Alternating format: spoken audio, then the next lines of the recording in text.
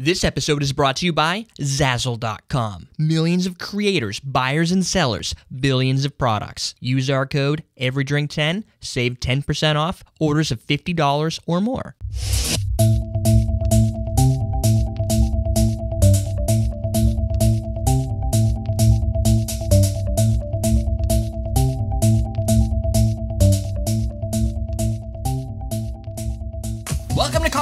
Cocktails. I'm your host, Derek Schomer. Today we're going to do the pineapple bite. This is submitted by Philip, like last June.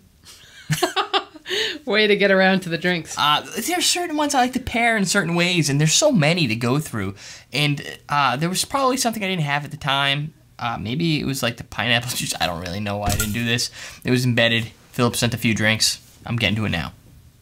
Well, goes to show you will eventually get to I will get to your recipes unless it's like some crazy ingredient that I have yet to buy, and that happens. We get like the elderflower liqueur or something, some stuff from Europe that I can't even buy. So it's like I have them in there. If I for some reason ever find it, I've got drinks to make. That's how I did the Zubro, the Zubrovka.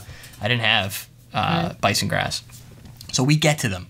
Uh, this one's going to have some orange liqueur. I picked Combier. I was on the edge between Combier and maybe Patron Citronage. I couldn't figure out which one I wanted to go with, or Cointreau, which is what the recipe kind of calls for, or orange liqueur in general.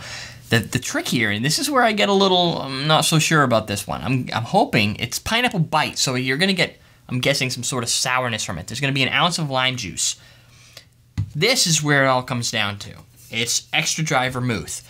And there's two ounces of extra dry vermouth, one ounce of the Combier Rouge, and the lime juice. And then you put the pineapple, you top it off at the end. So I have no idea what this is going to taste like. It's going in a highball, shake and drink. My garnish, I am going to be garnishing it with a blade on the top of a pineapple. Happen to have a pineapple, so I just cut it. If you don't, don't sweat. Just get like one of these. But if you get one of those, I cut that out of the pineapple that I cut this out of. So it kind of goes hand in hand. Buy a pineapple and enjoy it the whole time. Especially if you have kids, just serve it up. So let's get going. We're gonna shake a drink this week. It happens. So I'm gonna put ice. We're gonna put that in last. So we'll go ahead and dump our one ounce of lime juice, freshly squeezed, mind you. No artificial preservatives or uh, I don't know where I was going with that. Thought it was gonna sound cooler than it really was. Now this is gonna make this drink super dry. You didn't squeeze it from the plastic lime. I did not squeeze it from the plastic lime. Like little line here was squeeze it at people's faces, right in their eyes. Ah! Anyway, I gotta watch out. Sometimes I get so animated that somebody had sent me a picture. You know the uh, Irish trash can, which everybody loved. The Irish trash can cocktail for St. Patrick's. cool. They they sent me an email with a picture of me going with this thing in my hand. They took one frame. Now they could do it with that. but it's amazing what you could do when you freeze the picture. Where you play a video frame by frame. Yeah, you can do anything you want when you start playing things frame by frame. You can paint a mustache on me. Put you in the Eiffel Tower. Uh, you might be able to put me in the Eiffel Tower. I, I don't exactly know how you'd go about doing that, but You said anything. it is. You can. It is. Anything. You can give me a chick head. You know, like cut. Like, a baby chicken. I was thinking more like um, Sandra Bullock or something. I don't know.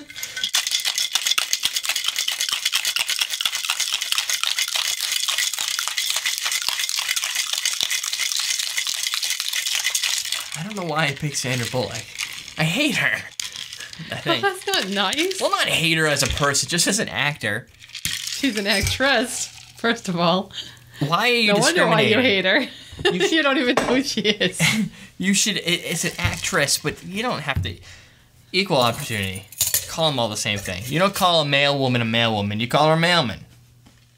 No, actually, I really. call him a male person. Oh, male person. Called New School.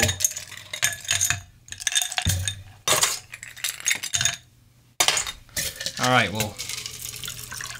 Mail person. Whoa! There's a lot in here. I don't really know what I need to get. I don't want to make this too bitter. Guess I'll give it a try and then I can balance, right? See how this comes out?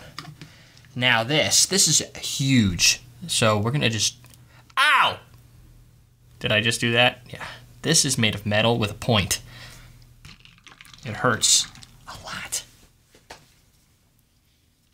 I saw this on a, on a Bacardi ad where they did this, so I thought it'd be cool to do that. Check it out. Isn't that awesome? Doesn't that look like I actually know what I'm doing? It almost looks as obnoxious as that celery that we saw in that Bloody Mary. we went to this we went to the restaurant and this lady had a celery stick that high out of her Bloody Mary. It was insane. Whoa, that is like vermouth on steroids.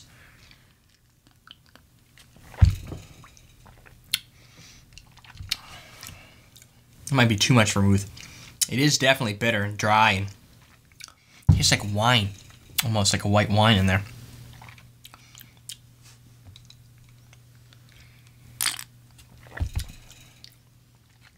It's gonna be there. You get a dryness. I don't get too much bite. And definitely, the bite is accented a little bit by that dryness. It dries your face, and then that bite is left there to kind of just sit there and bite you. Um, it, and it all it's all pineapple. Other than that, there's maybe a hint of orange, but really, I think that the dry vermouth plays such a big role that the orange liqueur or orange, yeah, orange liqueur just is not predominant in this drink. Maybe it adds a little complexity. Let me try it again.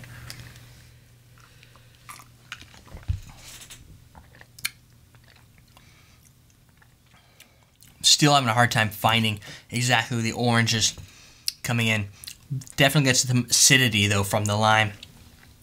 Overall, it's different, very not what you'd expect from it from its look. It looks like it's going to be super sweet, but if you bite a pineapple, you don't get a sweetness. You're going to get more of a I guess it tastes more like a pineapple, like a raw, fresh pineapple, which is what we got in there. So that is the pineapple bite. Give that a try. Even if it's not your favorite cocktail in the world, and I have plenty of cocktails that have not been my favorite, being able to try them gives you the ability to then make another cocktail with maybe a half ounce or two ounces of dry vermouth, and and you can kind of imagine what you've already had and compare it to some of the different ingredients that you find in the next cocktail. So I'm your host, Derek Somer. Check us out on everydaydrinkers.tv over there, and we're teaching you how to drink.